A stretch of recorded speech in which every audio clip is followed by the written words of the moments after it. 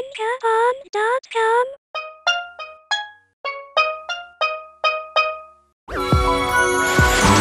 โมเดิร์นไ t ทีวีบริษัทเวิร์กพอยต์เอนเตอร์เทนเมนต์จำกัดมหาชน ซันซิลภูมิใจเสนอ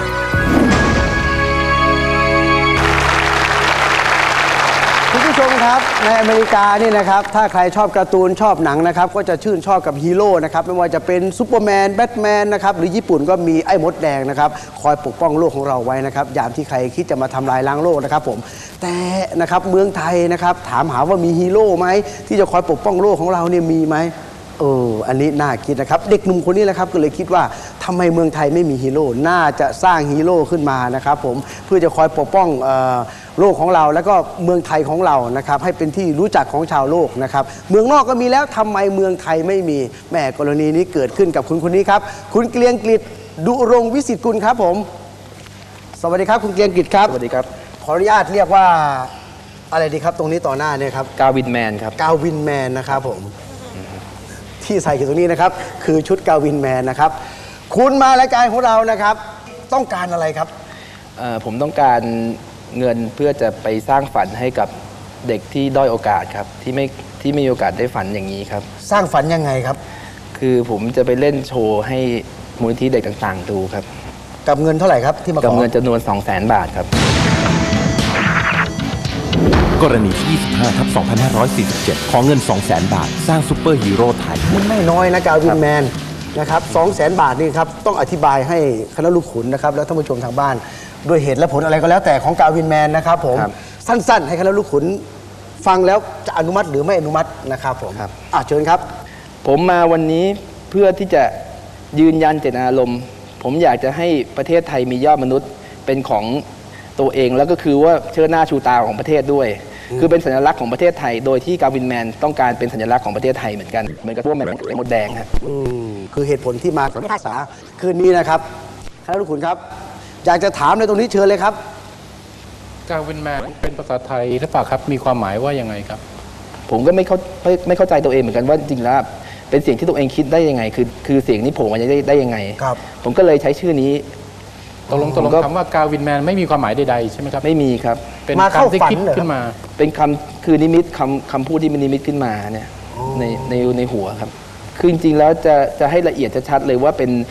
สมชายแมนหรือว่าเป็นบุญแมนเงี้ยหรือว่า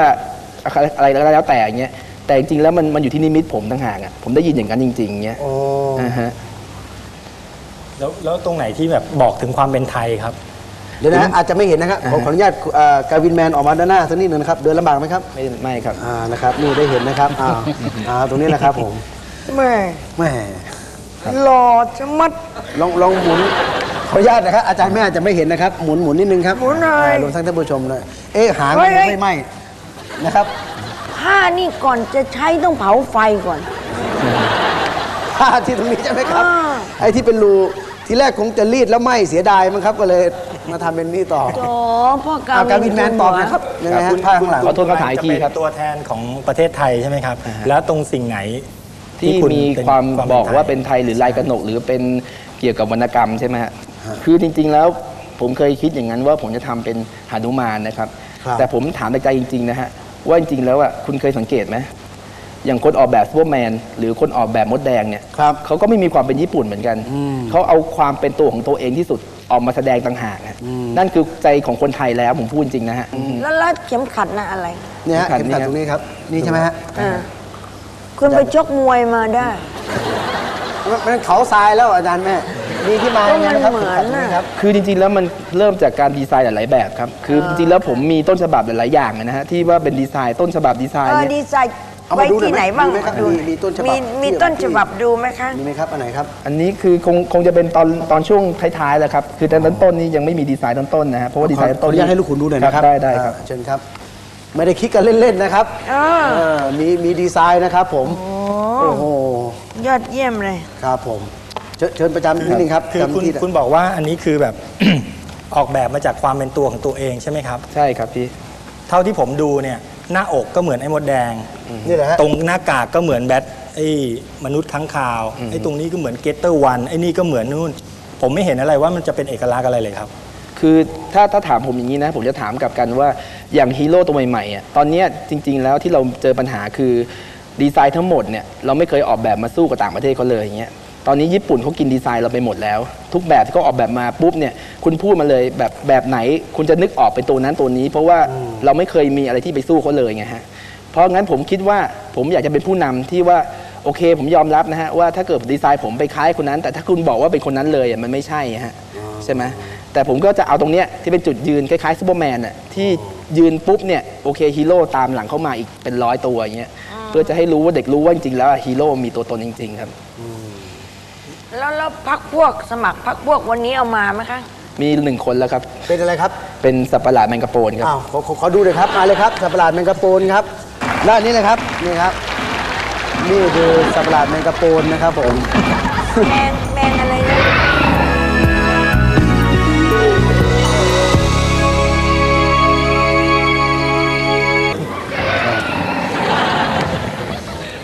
คุณพ่อคุณแม่สนับสนุนไหมครับ ทำไมอะผมผมต้องถามที่มาใหม่ถามที่ดีครับ อ้าวผมผมผมอยากผมอ้าวกำลัง ไม่ไม่คือยังคืออยากคือถามผมมีลูกไงอาจารย์อ้าวผมมีลูกอาจารย์ผมมีลูกถ้าลูกๆเราเล่นอันนี้เราก็ดูเอออาจจะบ้าหนังทีวีดูไปก็แล้วแต่อะไรก็แล้วแต่นะครับ ถ้าถ้าอย่างนี้ฮะคุณพ่อคุณแม่รู้เรื่องไหมครับ จริงๆ แล้วผอันมนี้ ผมจะเล่ามันเป็นประวัติเหมือนกันนะ คือว่าจริงๆ แล้วอะพ่อแม่ผมอะ เขาไม่สนับสนุนนะฮะในให้ทำแบบนี้นะฮะเพราะว่าเขารู้สึกว่าเวลาช่วงหนึ่งที่ผมเอามาทำตรงนี้ยกับบางคนที่เขาเวลาเนี้ยไปทำงานเนี้ยคือมันเหมือนกับว่าเราสวนทางตลอดเนี้ยแต่ผมคิดว่าสิ่งที่ผมแบกอยู่ภาระที่ผมแบกอยู่คือความฝันของคนไทยทั้งประเทศเนี้ย ผมรู้สึกว่าตรงเนี้ยเป็นจุดที่ทำให้ผมรู้สึกว่าผมจะไม่มีคำว่าท้อไม่มีคำว่ายอมแพ้ ล้มก็ได้ แต่ผมจะไม่ยอมนอนกองกับพื้น ผมต้องลุกขึ้นมาสู้ทุกครั้งที่ผมล้มอื้อหือให้สมกับเป็นฮีโร่ของคนไทยครับนี่กาวินแมนกาวินแมนเสียงหัวเราะที่กาวินแมนได้ยินอยู่ตรงนี้นะครับ ถามจริงๆครับรู้สึกยังไงบ้างกับเสียงหัวเราะนี้ครับคือคุณจะหัวเราะล้อย่อผมตอนนี้ก็มันก็ไม่ผิดของคุณหรอกครับแต่จริงๆแล้วอะ คุณหัวเราะย่อหัวใจของคนไทยไม่ได้นะครับ นี่กาวินแมนหรือคุณออสพูดครับ กาวินแมน กาวินแมนนะครับ กาวินแมนพูดนะครับ คุณคิดว่าคนในเมืองไทยจะมีคิดอย่างนี้ไหมครับ คือจริงๆแล้วผมผมคิดว่าคนที่มีฝีมือในคนในประเทศเราเนี่ยมีเยอะนะครับ ครับ แต่คือเป็นเพราะว่าเขาโดนคำพูดหรือโดนอะไรๆสิ่งแวดล้อมหลายอย่างทำให้เขารู้สึกว่าทำไปทำไมทำไปเพื่อเพื่ออะไร ครับ แล้วทำไปแล้วคนก็จะมองเราว่าเป็นอะไร เออใช่ไหมนี่ฮะกำลังจะถามเลยว่าทำไปทำไมทำไปทำไมใช่ไหมฮะนะฮะ แหมบอกกันดีจังเลยกำลังจะถามเชียวคือคำถามพวกเนี้ยค่ะ ถ้าถ้าถ้าผมคิดจะทำเพื่ออยากได้เงิน หรือว่าค่ะผมจะค่ะคิดจะทำเพื่ออยากจะให้ดังนะครับแค่ค่ะ แค่ระยะเวลาสั้นนะฮะโอเค ผมทำแป๊บเดียวผมเลิกแล้ว ผมไม่ทำต่อดีกว่าเพราะว่า ก็ไม่ได้คิดอย่างนั้นเพราะว่าคุสณนุกจะแค่นั้นก็พอทำเพื่ใช่ไหมฮะค่ะ แต่ที่ผมทำเนี่ยคือทำไมคนไทยเราไม่มีฮีโร่ที่เป็นคนไทยคิดโอ้โหเดี๋ยวเดี๋ยวไอ้เจ้าตัวเนี้ยมองเห็นไหมน่ะ สวัสดีครับ ไม่ใช่เจอคำถามแรงๆแล้วปล่ว่าอยยแสงว่ายเป็นเหมือนกันเหรอเองอะทำไมถึงเชื่อว่าเด็กทุกคนในประเทศไทยหรือว่าทุกๆ คนต้องการฮีโร่ตัวนี้อะฮะ คือเอ่ออาจจะไม่ใช่ฮีโร่ตัวนี้นะครับ เพราะว่าที่จริงผมคิดมาเนี่ยเพราะว่าผมเอาแรงบันดาลใจของผมเองตั้งหากแต่ผมก็คือนำอยากนำเสนอให้ให้เด็กทุกคนเห็นว่าโอเคอย่างน้อยมีคนไทยคนหนึ่งอะที่เขากล้าลุกขึ้นยืน แล้วเขากล้าทำทุกอย่างให้คุณเห็นอะ ไม่แพ้คนต่างประเทศเนี้ยแล้วคุณน่ะถ้าคุณโตขึ้นมาคุณจะไม่ทำแบบนี้บ้างเหรอ ดิฉันไม่กล้าถามอะไรคุณเลย คุณจริงจังจังเลยว่ะ ลองลอง สี่ปีฮะอาจารย์แม่สี่ปี ลอง ความฝันนี้ไม่ได้หายไปลเลองยแยกแยะให้หน่อยได้ไหมครับว่าเงิน2องแสนเนี่ยทำอะไรบ้าง เออเอาไปทำอะไรบ้างสองแสนเอาไปทำอะไรบ้าง กำลังจเรียนถาม หนึ่งก็คือว่าผมจะทำชุดสัตว์ประหลาด คือเป็นเหมือนองค์การเลยครับ ประมาณ 10 กว่าตัวสิตัวครับ 10 ตัวรมตัวละเท่าไหร่ครับ รวมแล้วคือตัวชุดชุดจากทำเป็นลาเทกซ์เนี้ยก็คือตีประมาณ 9,000 บาทครับตัวหนึ่งเก้าพันบาท ครับตีค่9,000ใช้บาจ่ทย แล้วตัวคุณเองอะค่ะ ผมก็จะไปพัฒนาออปชันตัวเองให้เพิ่ม แล้วผมมีเอ่อชุดสำรองอีก2 2 3 ตัวครับ 9,000 10 ตัวก็เซซะว่าเออ90,000 90,000ก็ที่เหลือแล้วครับ ที่เหลือนี่คือผมจะทำเป็นสมุดภาพระบายสีอีก 25,000นะครับ ที่เหลือเนี่ยก็คือผมตีว่าผมไป 20 ที่เนี่ยผมตี ค่าใช้จ่ายในการเดินทางครับแล้วก็ค่าจ้างอาจจะเป็นจ้างคนคนอื่นที่ไม่ใช่ทีมผมเนี่ยมาใส่เพิ่มเติมอะไรเงี้ย เด็กๆจะได้อะไรครับ คือแรงบันดาลใจบางอย่างนะฮะที่ที่ว่าเด็กๆพวกนี้ผมเชื่อได้ ถ้าเขาโตมาปุ๊บบางคนอาจจะเป็นครีเอทีฟที่มีชื่อเสียง หรือว่าบางคนอาจจะเป็นคนใหญ่คนโตในวงการเนี้ยอย่างน้อยเขาเขาจะมีแรงบันดาลใจตรงเนี้ยที่ทำให้เขารู้สึกว่าคนคนหนึ่งก็ยังทำได้ขนาดเนี้ยมีสักประโยคไหมเวลา ต่อสู้เสร็จแล้วพูดแล้วให้เด็ก ๆ ได้ฝังใจว่าโอ้อยากจะเป็นอย่างฮีโร่บ้าง ตอนจบขคือองคือขผองมการโชว์ผมจะเป็นสโลแกนในการพูดนะฮะอ่าเลยเชิญเลยครับเอาให้ออกไปพูดแสดงอ่าได้ครับได้ครับอ่านะครับ ดูสิครับจะตอนจบของของของของกาวินแมนต้นนะฮะตอนต้นก่อนแปลงร่างตอนเนี่ยต้น ความทุกข์ร้องเรียกให้ข้ามา ความโศกเศร้าวิงบอลต่อข้าฟ้าจะถล่มดินจะทลาย ข้าจะขอสู้และตาย เพื่อพดุงไว้ซึ่งความยุติธรรม ฮีโร่ตัวจริง กาวินแมน แปลงร่างเป็นกาวินแมน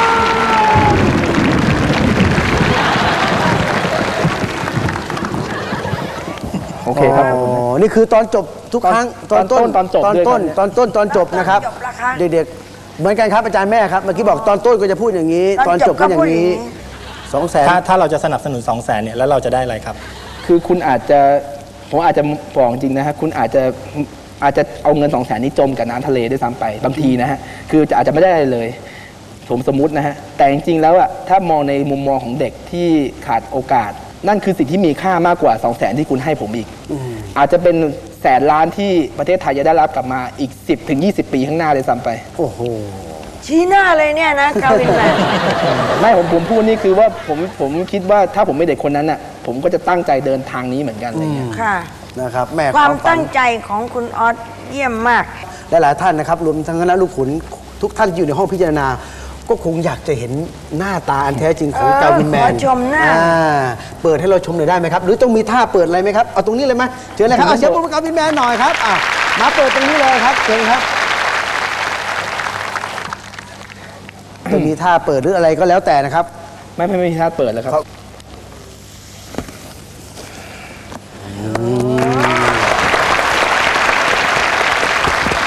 คุณออสติดไปเลยคุณออสไปอย่างนี้น่ารักกว่าจมเลยอะ นี่คุณออสไปอย่างนี้นะรู้สึกไงหลพอพอถอดหน้ากากลงแล้วตายตอนเลนี้ ยผมรู้สึกวูบจริงนะฮะ รู้สึกเงวูยบหน้าเลยดูกันหน่อยเจ้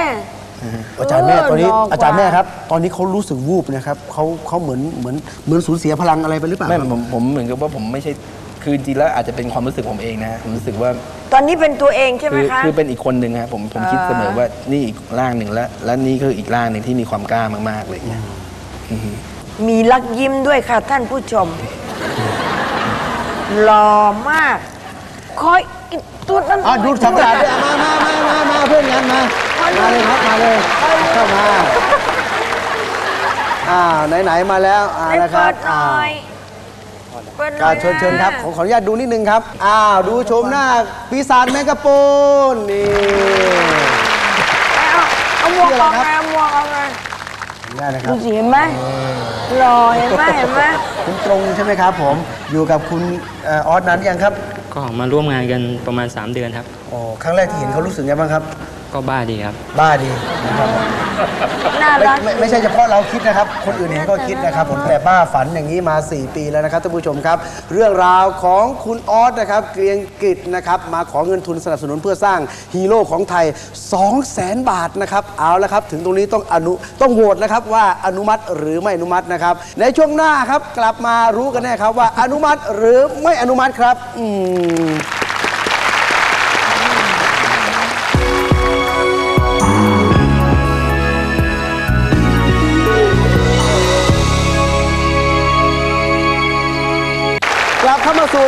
ของทางพิพากษาครับ กับเงิน 2 0 0แสนบาทที่มาขอทางรายการเพื่อที่จะไปทำนี่ครับฮีโร่ไทยๆกาวินแมนที่สวมอยู่ตรงนี้นะครับผมตอนนี้ก็โหวตกันเรียบร้อยแล้วนะครับคำตัดสินอนุมัติหรือไม่อนุมัตินะครับ อยู่ที่หัวหน้าคณะลูกขุนเรียบร้อยแล้ว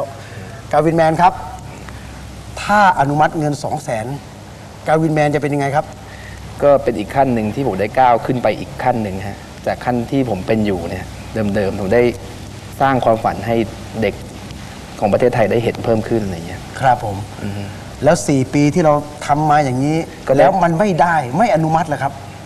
ก็ถือว่าเป็นทุกครั้งที่ผมล้ม ผมคิดเสมอฮะว่าเป็นบทเรียนครับอือฮึแล้วแต่ผมจะไม่เลิกแน่นอน อันนี้เป็นข้อคิดที่ดีนะฮะ นะครับผมเอาละครับนาทีตรงนี้นะครับระทึกใจนิดหน่อยนะครับ เพราะว่าผมจะเดินไปเอาซองคำตัดสินที่หัวหน้าลูกขุนว่าอนุมัติหรือไม่อนุมัติครับเอาใจช่วย ครับ คุณตรงชัยครับ สู้ต่อไปครับกาวินแมนเป็นกำลังใจให้คุณเหมือนกันครับ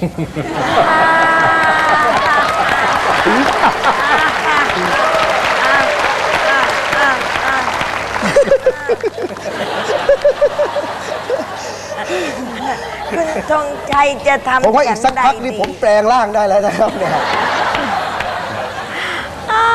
ผมเองก็ จะเป็นกำลังใจให้กับกาวินแมนเหมือนกันนะครับผมเราจะเป็นกำลังใจซึ่งกันและกันครับ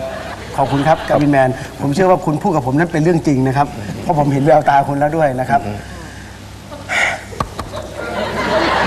เดี๋ยวสิคะน่ารักมากนะครับอ้ออะไรก็อะไรก็ช่างนะครับ ถึงตรงนี้นะครับ ใครที่ไม่กล้าฝันกลัวว่าตัวเองจะทำยังไงต่อไป ขอให้เอาความกล้าฝันของกาวินแมนตรงนี้นะครับ เป็นตัวอย่างได้เลยก็ต้อง เอาละครับ คำตัดสินอนุมัติหรือไม่อนุมัติอยู่ในซองนี้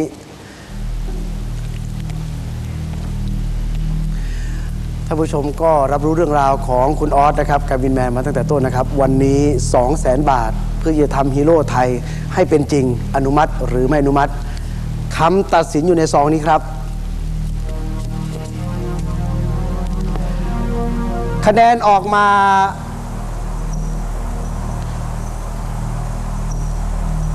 ไม่เป็นเอกฉันท์นะครับ 4 ต่อ 1 ไม่อนุมัติครับ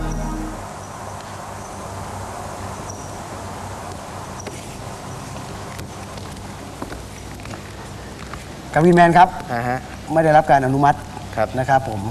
ถึงตรงนี้แล้วกาวินแมนอยากจะพูดอะไรกับในห้องพิจารณาหรือกับชาวโลกไหมครับ คือก็ขอขอบคุณนะครับที่ที่ให้โอกาสผมได้มายืนในจุดนี้ ให้ผมได้พูดถึงความฝันของผมจินตนาการของผม แล้วก็เจตนารมณ์ของผมนะฮะคือผมเชื่อมั่นว่าสักวันหนึ่งนะฮะถ้าเกิดผมยังสู้ต่อไปนะฮะความฝันเนี่ยจะไม่มีทางเลือนหายไปจากคนไทยแน่นอนนะไพเราะมากเลยค่ะครับนั่นลูกขุนมีอะไรจะแนะนำอีกสักนิดไหมครับ ชื่นใจที่มีเด็กหนุ่มๆสักคนหนึ่งใช้คำพูดว่าถ้าล้ม อย่าล้มเลย จงลุกขึ้นสู้ต่อไป ตอนนี้กำลังจะเข้ามหาวิทยาลัย ถ้าเข้าไม่ได้ก็ไม่ต้องตกใจ ยังมีอีกหลายที่เพราะชีวิตไม่ใช่แค่สอบเข้ามหาวิทยาลัยได้หรือไม่ได้เท่านั้นดูแต่คุณออสสิคะ ยังเดินมาถึงตรงนี้ได้อย่างยอดเยี่ยมและโชคดีนะคะ ครับ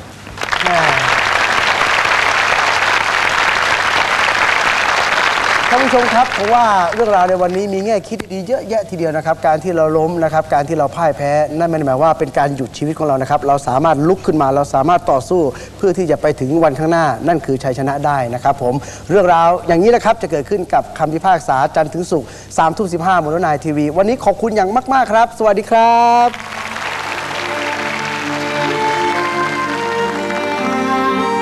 คือคุณจะหัวเราะย่อผมตอนนี้ก็มันก็ไม่ผิดของคุณหรอก แต่คุณหัวเราะย่อหัวใจของคนไทยไม่ได้นะครับ ภาระที่ผมแบกอยู่คือความฝันของคนไทยทั้งประเทศ ตรงนี้เป็นจุดที่ทำให้ผมรู้สึกว่าผมจะไม่มีคำว่าท้อไม่มีคำว่ายอมแพ้ ล้มก็ได้ แต่ผมจะไม่ยอมนอนกองกับพื้น ผมต้องลุกขึ้นมาสู้ทุกครั้งที่ผมล้ม สนับสนุนรายการโดย ใหม่ซันซิลโยเกิร์ตเพื่อผมมีน้ำหนักทิ้งตัวสวย